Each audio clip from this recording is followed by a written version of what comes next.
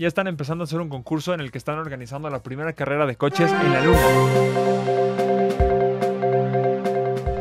¿Cómo están mis queridísimos cabezas de nepe? Bienvenidos a Webfere News, el mejor noticiero del universo con las mejores noticias del planeta Tierra. Hoy empezamos con que es 12 de mayo y hoy justamente coincidió que es el Día Internacional de la Enfermería. Últimamente los días festivos que les he estado diciendo, los días internacionales, justamente coinciden con que en esta época y con todo esto de la pandemia no se está festejando de la manera correcta. Es como por ejemplo apenas fue el Día del Teatro y pues los teatros están cerrados. Apenas fue el Día de, no sé, creo que del cine, una cosa así, pues están cerrados. Luego fue el Día de las Madres y pues las madres no pudieron festejar este, en restaurantes como normalmente lo hacen y muchas personas no pudieron ver a sus mamás porque pues el distanciamiento, ¿no? Pero hoy, 12 de mayo, es el Día Internacional de la Enfermería y la enfermería justamente ahorita es donde está a tope. Están trabajando muchísimo, tienen muchísimas cosas que hacer, están siendo súper valoradas en este momento, así que mejor momento para una enfermera que en esta época para, pues bueno, con todo lo que está pasando ahorita para que la festejen. Así que si conoces alguna enfermera o eres enfermera, date el día, no, no te des el día en el sentido de que no vayas a trabajar, creo que te necesitamos en este momento, pero pues consiéntete y si conoces a una enfermera eh, o enfermera, pues consiéntelos también. Dales un pastel, salúdalos, trátalos bien. No les avientes cloro en la calle como muchas personas están haciendo ahorita. Yo creo que nada más con eso ya es bastante avance. Parece de broma esta noticia, pero no es broma. Resulta que ahorita Estados Unidos acaban de emitir otra alerta, pero ahora por polillas gigantes.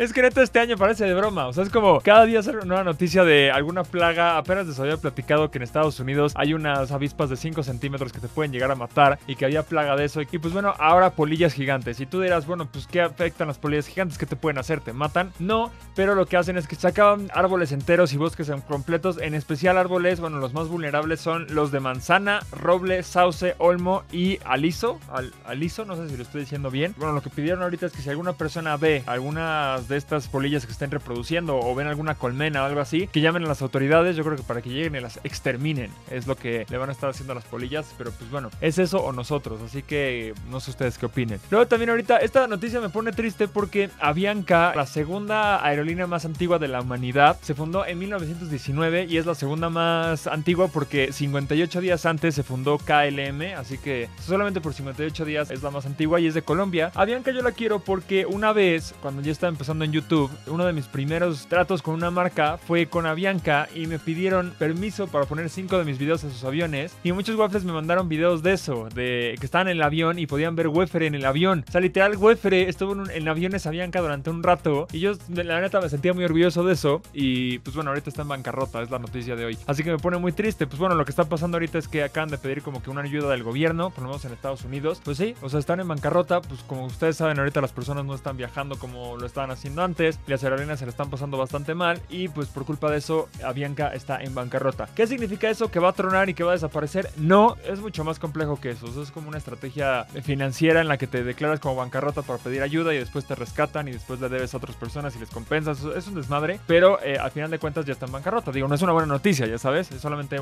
parte de un plan. ¿Significa que va a desaparecer Avianca? Tal vez sí, tal vez no, pero no porque esté en bancarrota significa que ya está desapareciendo. Pero ojalá no, ojalá lo puedan rescatar y ojalá todos los, los negocios que se están viendo afectados por esta situación puedan vivir después de esto. Luego acaba de morir Paul El Vázquez, que es una persona que fue muy famosa, fue uno de los primeros, primeritos, primeros videos virales en YouTube. Es una persona que grabó un video en el que se ven dos arcoiris, ¿ok? se llama Double Rainbow. Si pones Double Rainbow te va a salir el video, tiene 40 millones de visitas ahorita. Acaba de morir de 57 años por problemas de salud que todavía no han sido especificados. Él publicó en Facebook que tenía problemas de salud y bueno, si no conocen este video, básicamente lo que hace es que sale de su casa, ve dos arcoiris y los empieza a grabar. Y empieza a decir, no, qué padre, Double Rainbow, qué bonito, pero su reacción es tan emotiva que se volvió viral por eso, se pone a llorar, o sea, empieza a llorar así de, es que, ¿qué significa esto? ¡Qué maravilla de la naturaleza! Dos arcoíris, así se pone histérico de felicidad. Y eso pues da mucha risa, si ves el video neta te da mucha risa, dura tres minutos y los tres minutos está así asombrado, o sea, como si fuera...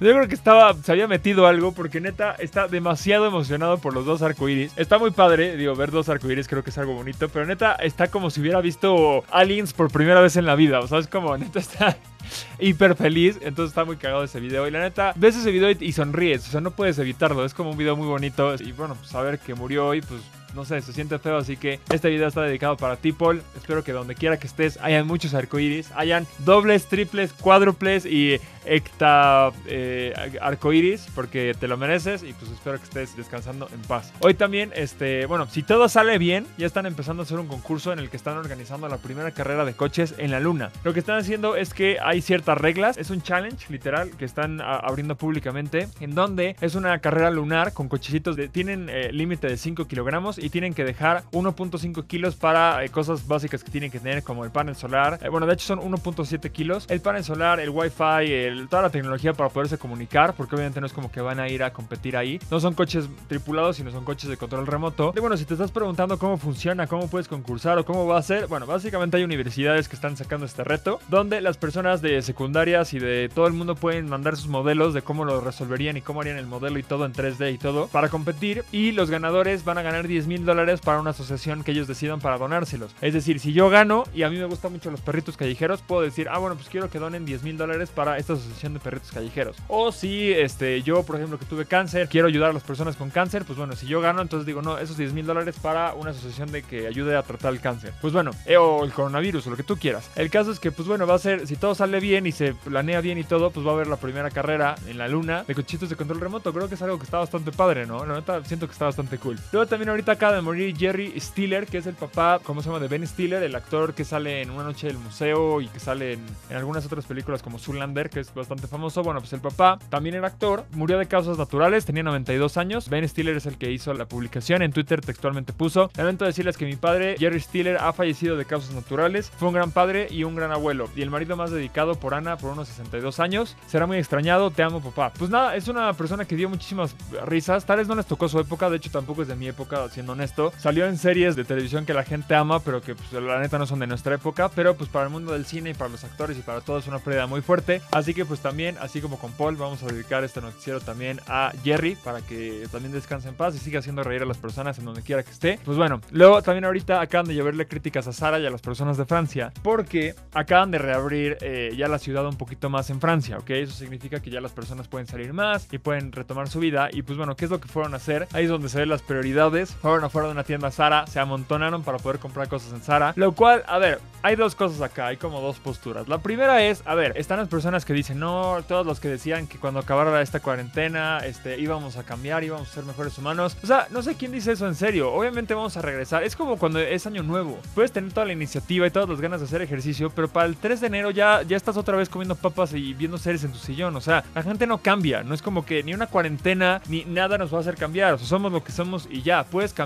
para ti, para tu bien y para mejorarte a ti. Pero si tratas de cambiar el mundo y crees que la sociedad va a cambiar por una cuarentena, o sea, estamos mal. O sea, estamos locos si creemos eso. Y lo segundo es que pues, sí, o sea, a ver, es chistoso que la gente se haya ido a perrar afuera de una tienda de Sara, pero pues también digo, ¿qué esperaban? O sea, es como la gente quiere comprar, la gente está desesperada, lleva meses así. No sé, son de esas cosas que yo siento que criticaría, pero hasta no estar en esa situación no puedo saberlo. Porque, o sea, yo no estuve en Francia, no sé cómo vivieron ellos el confinamiento, no sé si ellos ya tomaron mejores medidas y ya no hay contagios. O sea, la neta es que no lo sé. O sea, nada más basado en esas fotos criticar está un poco raro. Pero, quitando todo eso y siendo como que políticamente correcto y lo que acabo de decir, también sí que mamado. O sea, es como acaban de salir y en vez de salir a parques o como que tener un poquito de cuidado, van directo a Sara. Yo ahorita me sentiría muy incómodo. Si ahorita me dicen, no, ya acabó el confinamiento, pueden salir a las calles, no iría ya a perrarme un Sara, la neta. Pero no sé, creo que cada quien, ¿no? ¿Tú qué harías? ¿Te irías a un Sara a perrarte sí o no? Pero también ahorita en los 10 segundos, por cierto, muchísimas gracias a todos los creadores que se han unido. Por cierto, también, por cierto, dos. Cada vez que digo, ah, sacando dinero a los 10 segundos, siempre menciono a los mismos, que es X-Limon, Juan y así. También les voy a, mencionar un par de, otros canales que también se han unido a 10 segundos, que no son los mismos de siempre, para que lo sepan, es que como que siempre son los que me vienen a la mente. Está Chimi Cabrera, está Locochón, está Super M, está Señor Red, está este bufones.net, está Candres Peredo, está Strombol, y bueno, nada más para que sepan. Hay más de 50, no los voy a decir todos, pero nada más para que vieran que no siempre menciono los mismos. Y recuerden que así como pueden tener sus 10 segundos en mi canal, ya lo pueden tener en otros canales como el de Juan Guarnizo y algunos otros.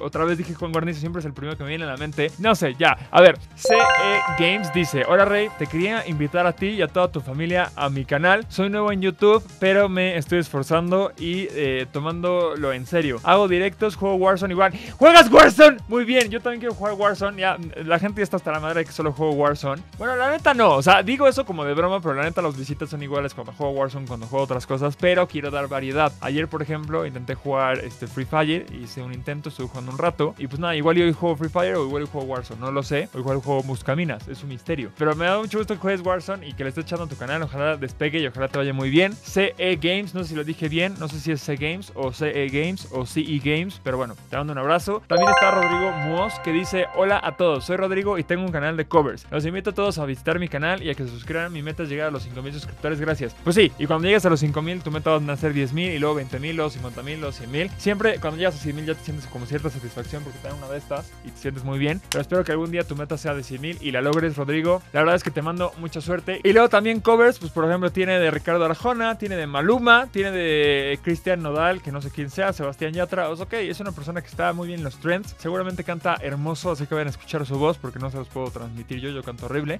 Y ya por último tenemos a Mava Games que dice, hola, solo vengo a ofrecer a hacer un 1v1 en Fortnite. Ok, si me ganas 5 de 5 regalo una skin de 2000 y si me ganas 3 de 5 una de 1200. Mi ID es josevale456-km. Acepto tu reto, nada más déjame ver cuándo. A ver, te voy a decir algo, Nava Games. Probablemente se me va a olvidar esto y probablemente vas a tener que recordar varias veces, pero va a pasar, ¿ok? Te prometo, te doy mi palabra que va a pasar. Cuando haga mi próximo este, directo de Fortnite, lo voy a avisar por acá. Este, vemos cómo nos ponemos en contacto, te echo el 1v1 y este, todo sea por una skin de 2000. Es más, si te gano las 5 y das el skin de 2000, yo doy otra de 2000, ¿va? Para que sea aquí este, recíproco y no solamente gastes tú, sino yo también. Y así ganan todos. Y bueno, ya por último, acaban de abrir el primer Disney del mundo después del confinamiento. Esto es en Shanghai. Y pues bueno, están tomando medidas muy extrañas. Bueno, no muy extrañas, sino muy pues, de coronavirus, ya sabes. Todos tienen que tener cierta distancia. Solamente van a abrir al 30% de su capacidad. O sea, si antes podían ir 100 personas, ahora solo pueden ir 30. Entonces, pues obviamente el, parque está medio vacío. Las colas son muchísimo más separadas. Nadie puede como que amontonarse. Está padre porque, pues me imagino que puedes subirte más rápido a los juegos y disfrutarlos más. Pero me imagino que es más difícil entrar porque solamente aceptan al 30% de personas que Además de que tienes que tener tapabocas, lo cual debe ser una joda estar en un parque de diversiones. No sé si ustedes han ido a Six Flags o algún parque de diversiones alguna vez, pero pues estás ahí todo el día en el sol, te cansas y así. Imagínate con tapabocas, luego en los juegos con el tapabocas debe ser súper incómodo, pero bueno, si ya te mueres de ganas por ir a un Disney, pues puedes ir a Shanghai y estar ahí y disfrutarlo. Así que nada, nos vemos en el próximo video. Muchas gracias por todos los creadores que están uniendo sus 10 segundos. Muchas gracias por todas las personas que están comprando 10 segundos en mi canal y en el de otros canales. Nos vemos en el próximo video. Véanme en Facebook al rato en directo, facebook.gg diagonal web oficial. Bueno, de hecho hoy no voy a hacer directo, pero mañana sí. Así que nada, nos vemos en el próximo video. Lávense la creta con aire con jabón, las manos con aire con jabón y adiós. Bye.